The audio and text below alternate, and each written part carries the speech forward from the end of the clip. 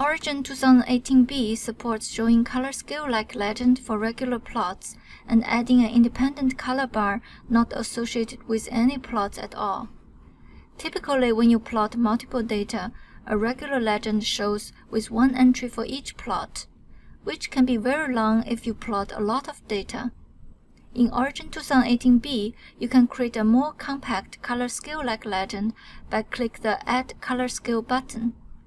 Col column headers are used as labels of the color scale.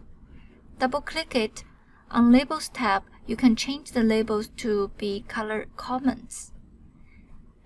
Also, there are cases you just want to add an independent color bar in graph which is not associated with any plot.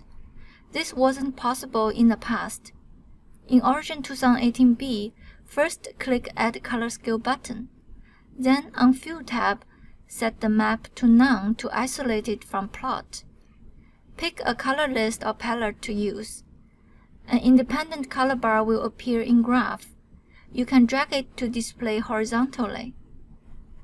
The x-axis in this graph is wavelength from 500 to 720 nanometer, while the rainbow palette I added covers a broader range.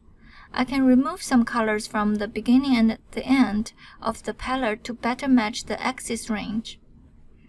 Again, on Fill tab, click on Fill drop-down list to show the flyout menu.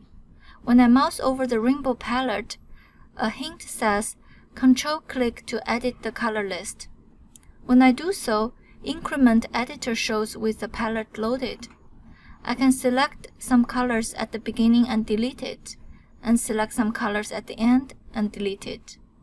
Please note that I'm just demonstrating how to remove colors, so it's not accurate at all. You may need to refer to some other reference to get desired mapping or even create your own color palette to use. On Levels tab, choose Show on Custom Levels and define begin and end levels and the increment step of the color list. On Labels tab, change type to numeric to display the levels you specified.